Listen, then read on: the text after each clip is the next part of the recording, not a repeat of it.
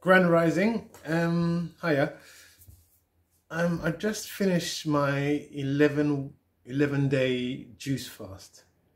Um, so it consisted of celery juice first thing in the morning, and then um, a lemon and ginger juice. And then during the day, I had a juice which was made of um, broccoli, uh, some green leaves, cucumber, um, and sometimes some lime. So I did that for 11 days. Initially, it was going to be just four days, but at four day mark, I felt that there was, I hadn't quite finished. So I went to 11 days. And I thought I would just um, talk about the 11 things I learnt. So the first one was that it was not so much that I felt hungry. It was more like I realized that much of the food that I eat was came out of habit. So I would pick things here and there. And um, even when I wasn't, even when I wasn't hungry, it was the picking of food that I kind of discovered was a habit that I had been just unconsciously just doing. I would just go past and pick something and pick something and then going without food for so long, you kind of realize this habit and you see it. So that was the first thing. Second thing, everything kind of slows down. So you walk slower, everything's slower. And I guess you take time to appreciate things a little bit more. The third one was, oh yes, I learnt so much about food because while I was fasting, um, I read up on foods and um, the nutritional benefits and uh, foods to eat. I'm a vegan, so um, I have a cookbook here, and I was looking at vegan recipes that I would try when I finished the fast and I learnt about uh, turmeric and ginger and the health benefits of that. And um, what else was there? Yeah, and garlic, the health benefits of garlic, and a few other foods. So yeah, so even while I wasn't eating, I learnt a lot about food. And the fourth one is that to become, I became aware of silence more throughout the day I guess that comes together with everything slowed down. You just become more aware of just silence. And in that silence, you start to watch your thoughts and you watch your feelings and you watch the the thoughts of um, what you would things that have gone on in the past or and especially during the first few days it was watching the habitual thought of a I would like to eat this or eat that. Yeah, so that was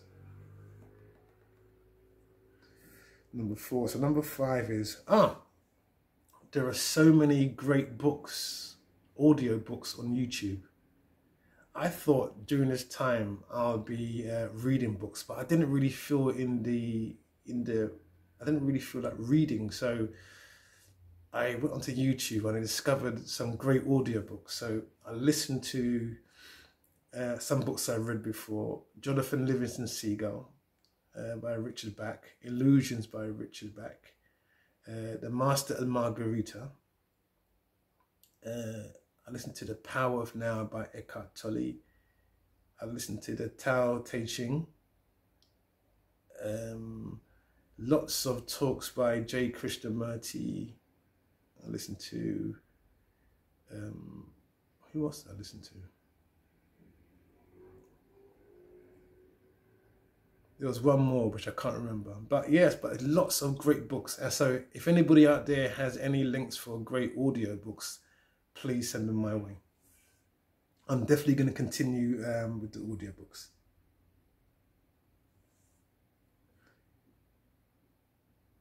Yeah, so listening to the body. So originally it was I was going to only fast for four days, but at four days, I just felt that there was I hadn't finished and the body needed more time. So then I went to up to 11 days. And then I realized that, uh, so today I'm finishing today, today's the 12th day, but there, there, there was no hunger. And no point did I really feel hungry.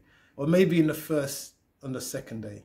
But after that, I didn't really feel hungry. It was more like, as I said before, you, you see the habit that you have of putting things in your mouth and wanting to eat. Um, yeah, so um, a lot less, number seven, a lot less interactions, you know, with the phone or with the TV or with the internet. That slowed down a lot, except for, as I said, the um, the audiobooks. A lot less um, social media stuff. Ah, I think this one was the biggest one. There were lots of insights and ideas. I do lots of writing and it was a very productive week when it come when it came to ideas and writing things down and so many things came came to me this week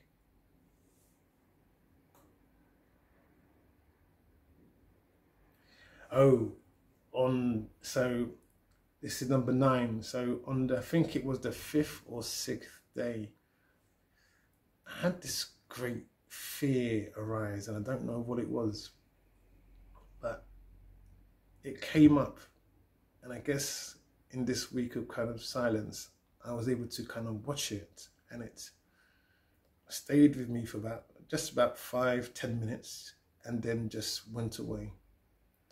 And after that, it felt like something had lifted, had fallen away. I don't really know what it was. I didn't go into the whys of it, but that's what just happened on the fourth, or, on the fifth or sixth day. Oh yes. Um, another thing I've learnt. Um, I didn't really number ten. I didn't really tell. I didn't tell anybody I was fasting, and I think what in that case, a lot of times when you go on to new ventures or projects or doing a fast or whatever you're doing, you waste so much energy explaining things to people about why you're doing it.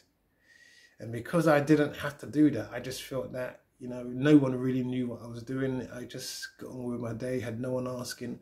So I think in the future, if I do this again, or with other projects, maybe telling people about it is not always the best way to go because explaining things and even sometimes justifying it or it just takes so much energy.